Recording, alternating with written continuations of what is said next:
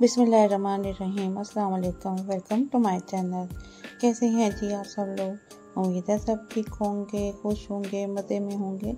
आज हम अपने किचन में बनाने जा रहे हैं मीठी दूध की सोइयाँ, जो कि बहुत ही थोड़ी सी चीज़ों से जल्दी से बनकर तैयार हो जाती है। तो चले आए, शुरू करते हैं।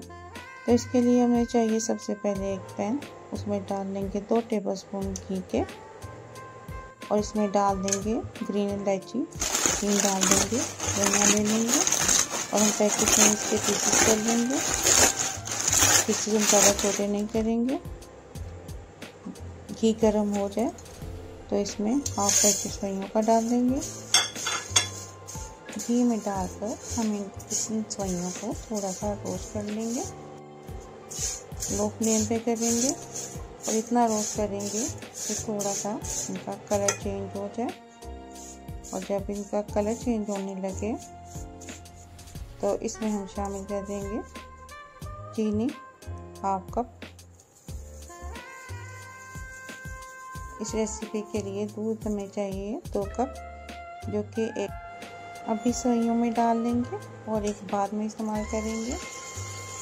सोइयों में दूध डाल देंगे और उसके बाद हम इसको मिक्स कर लेंगे। मिक्स करने के बाद थोड़ी देर के लिए हम इन्हें पकने के लिए रख देंगे ताकि सोइयाँ नरम हो जाएँ।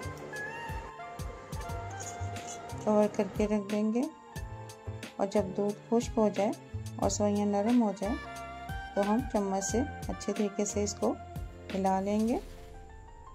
हिलाने के बाद इसमें डाल देंगे हम दूध एक कप और इसमें सवैयों को मिक्स कर लेंगे।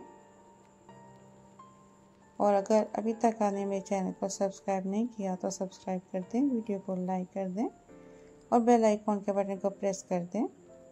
थोड़े से नट्स डाल देंगे मेवे डालकर मिक्स कर लेंगे। और इसके साथ ही शामिल कर देंगे हम कोकोनट पाउडर हाफ़ कप जो कि बहुत अच्छा टेस्ट देता है सोइयों में। इसको अभी हम मिक्स कर लेंगे। और जब सोइयाँ पकने लगे तो हम फ्लेम को ऑफ़ कर देंगे। इसका चम्मच चलाएँगे और साथ ही इसको डिश में निकाल लेंगे।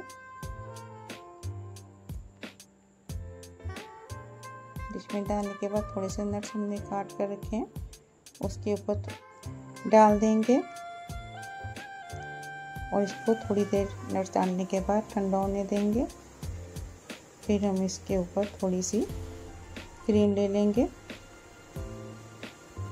वो डाल देंगे।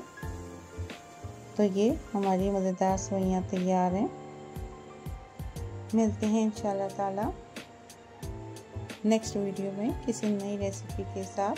तब तक के लिए अल्लाह हाफिज़।